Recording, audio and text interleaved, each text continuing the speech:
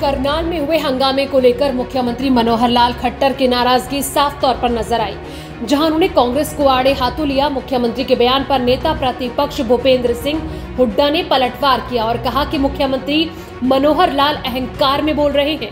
उन्होंने कहा कि राजनीति में अहंकार का कोई स्थान नहीं होता है और सरकार को कोई भी उकसाने वाली बात नहीं करनी चाहिए। हुड्डा ने कहा कि स्थिति बहुत गंभीर है। प्रदेश अराजकता की ओर जा सकता है। उन्होंने कहा कि आंदोलन अब तक शांतिपूर्ण ही चल रहा था। हुड्डा ने कहा कि सरकार को कोई भी उकसाने वाला काम नहीं करना चाहिए। पहले ही प्रदेश की कानून व्यवस्था चरमराई हुई है। हुड्डा ने कहा कि जब 15 तारीख तय है और सुप्रीम कोर्ट में सुनवाई चल रही है तो उकसाने वाली बातें नहीं करनी चाहिए। कांग्रेस और वामपंथियों पर सीएम के आरोप पर भूपेंद्र सिंह हुड्डा ने कहा कि मैं सरकार से पूछना चाहता हूँ कि क्यों विरोध हो रहा। उनका कानून हम तो नहीं लाए। अपनी कमज़ोरी दूसरे पर डालना चाहते हैं भाजपा वाले। राजनीति में अहंकार का को कोई स्थान नहीं होता। है जब वहाँ विरोध होगा तो सरकार को टकराव से बचना चाहिए।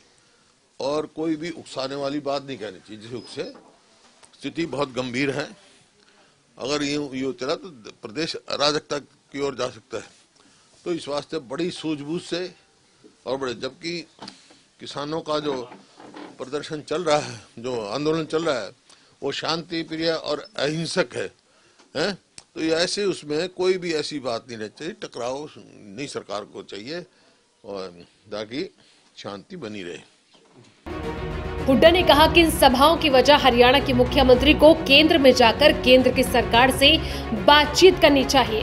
उन्होंने कहा कि 71 किसानों पर केस के मुद्दे पर यह तो उनकी कार्रवाई है। मेरा कहना है कि सरकार को टकराव से बचना चाहिए। पंद्रह तारीख को वार्तालाप के लिए बुला रखा केंद्र सरकार ने। और किस वास्ते बुला रखा है? वो तो कुछ भी फैसला हो सकता है ना। तो इनका ये कहने का कोई औचित्य नहीं है। ये भी उकसाने वाली बात है। जब ये कृषि कानून हम तो नहीं लेके आए ना। तो जिम्मेवार तो वो है ना, जो लेके आए।